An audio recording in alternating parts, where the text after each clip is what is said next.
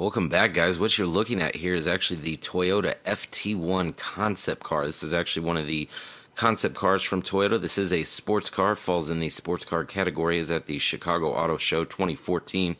As you can see, Toyota kind of went all out with this gorgeous concept sports car slash race car. It's the FT1 Toyota concept sports car, race car, whatever you want to call it. I mean, it's immaculate. It's got carbon fiber, the exhaust, the detail, the precision, the red paint, the the dual exhaust from the back, the cutouts for the air to go around. The spoiler actually is retractable, and depending on your speed, will actually raise to bring more downforce to the vehicle. These are actually on uh, 21 inch tires. There sit on the nice Pirelli rubber there great looking concept car from Toyota. There you can see 245 35 ZR21 is the actual tire.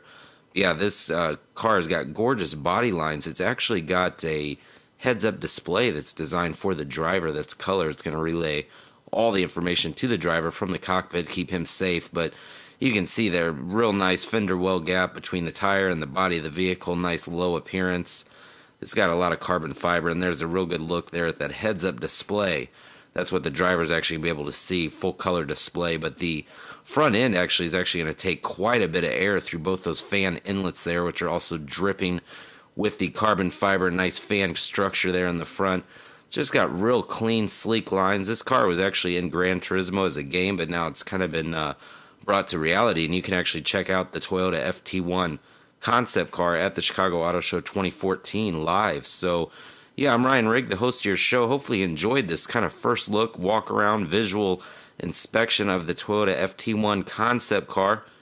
Make sure you guys check that out over at the Chicago Auto Show. You can check out all of our videos in a nice, clean playlist. But yeah, if you like this video, please do the right thing. Add it to your favorites. Click subscribe. It does help us out. Leave us a comment below from the Chicago Auto Show 2014. This is Ryan. We'll see you on the next episode, guys. Thanks for watching.